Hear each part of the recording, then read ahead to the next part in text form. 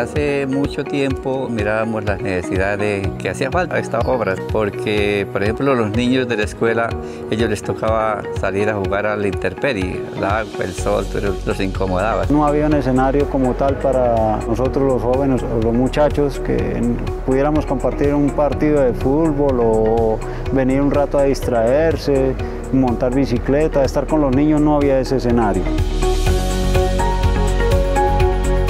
Yo doné este lote porque se necesitaba para el beneficio de la comunidad. Yo me acuerdo en una época el gobernador dijo no iba, el polideportivo de Puente ya nos toca hacerlo. Él está interesado en que se haga esa obra. Nosotros tenemos que colaborar, ¿sí?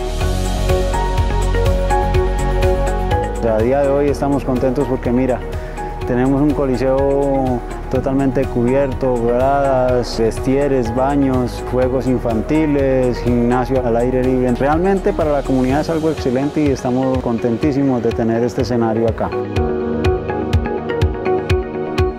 Un agradecimiento muy grande de parte de todos aquí en esta comunidad. El gobernador sabe que aquí somos sus amigos, que estamos acá dispuestos a servirlo y que le agradecemos muchísimo en el alma por esta obra tan bonita.